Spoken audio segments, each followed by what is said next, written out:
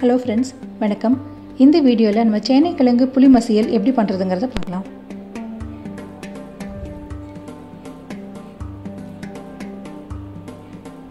Pan சூடானதும் தேவையான அளவு எண்ணெய் ஊற்றிக்கோங்க தாளிக்கிறதுக்கு கடுகு ஜீரகம் சோம்பு கடலைப்பருப்பு காஞ்ச மிளகா சேர்த்து தாளிச்சுக்கோங்க.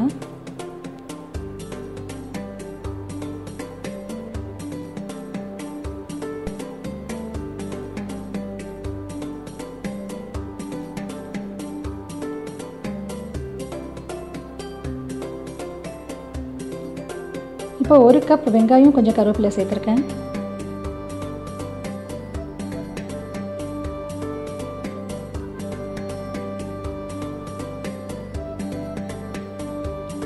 வெங்காயம் நல்லா வதங்கினதுக்கப்புறமா ஒரு கப் தக்காளி சேர்த்துக்கோங்க.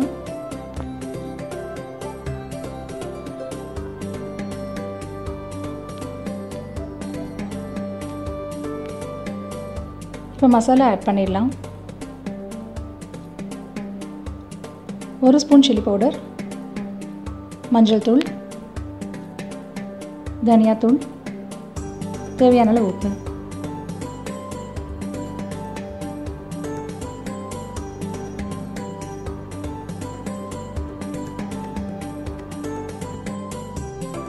ஒரு கப் புளி கரைச்சி வச்சுருக்கேன். அதை ஆட் பண்ணிடுறேன். இந்த புளித்தண்ணி நல்லா கொதிக்கட்டும்.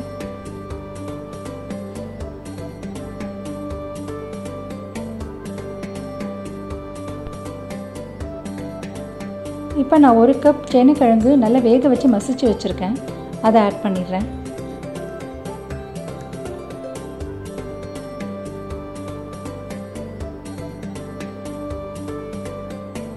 நல்லா கிளறி விட்டுக்கோங்க.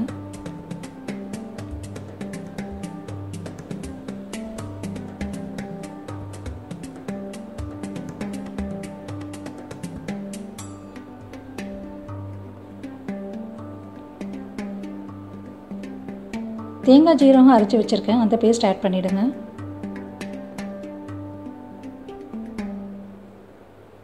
லோ ஃப்ளேமில் ஒரு ஃபைவ் மினிட்ஸ் கொதிக்க விடுங்க.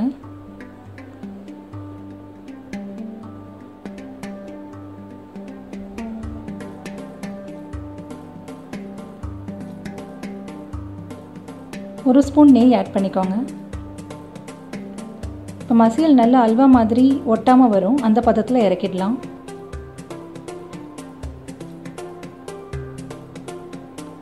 கொத்தமல்லி பொடியை நறுக்கி தூவிக்கோங்க. இந்த மசியல் சூடான சாதம் சப்பாத்தி பூரி தோசை எல்லாத்துக்குமே நல்லாயிருக்கும். நீங்கள் உங்கள் வீட்டு ரெசிபியை ட்ரை பண்ணி பார்த்துட்டு உங்கள் ஃபீட்பேக் சொல்லுங்கள் ஃப்ரெண்ட்ஸ் தேங்க்யூ